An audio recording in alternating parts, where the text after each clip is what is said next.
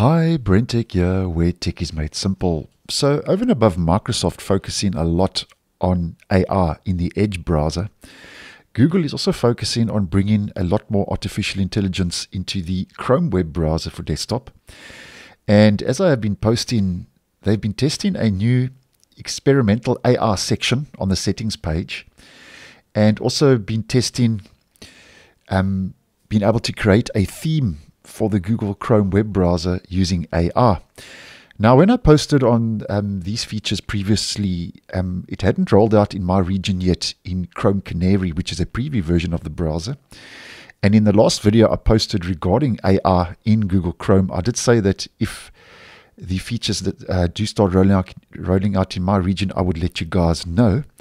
So just to be able to show you in real time now, if we head to our main menu in Chrome Canary 122, which is the latest preview version, and head to settings, here you can see now that the experimental AI section uh, is now starting to become more widely available in Chrome Canary, and it's currently on a controlled rollout. So you may see this, you may not see this uh, in your region. I'm only seeing it on my Windows 11 laptop and not my Windows 10. So if we click on that, here we go. Experimental AI, try out experimental AI features. It says these features use AI are in early development and won't always get it right. Now, obviously, you can toggle this all on.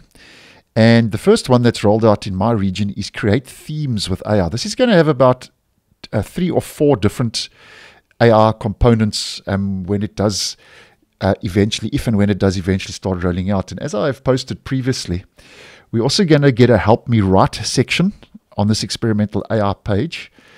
And we're also going to get a tab organizer, which you can which you will have the option to toggle all of those features on because, as mentioned, um, Google is focusing on bringing a lot more AI into the browser. And I'll leave uh, two previous videos I did post on some of those other features down below if you would like to play catch up and would like to go check that out. Now, with uh, the Create Themes with AI, it says creates custom themes based on the subject, mood, visual style, and color that you choose. To use this feature, open a new tab and click Customize Chrome. So there we go. Those are both toggled on. And I'm going to head over to a new tab and click on Customize Chrome. And just a quick spoiler alert, although it's available, this Create theme with AI is not working, but this will give us a good idea now because it's still early days, but there is a little bit more to show you. So if we click on Change Theme, here we go. We've got Create Theme with AI. So let's just pull that out. That's not going to expand it. So obviously it's only um, got that one kind of width. So create theme with AI. Let's click on that and there we go. And you can create theme with AI. You can change and choose a subject. I'm going to go landscape and I'm just going to go forest. You can add optional details, as an example, 3D animation, geometric, animated, colored pencil, and so on. So you've got a lot of different animation styles here. I'm just going to choose photography and your mood. I'm going to choose spring. Okay. And then you can also change uh, the different color and you click on create. And there we go. At this stage, though, um, it starts generating and then nothing happens. It says something went wrong. But nonetheless, this is basically another glimpse at this feature uh, using AI to create themes. And you'll notice here it's also got that inspiration tag.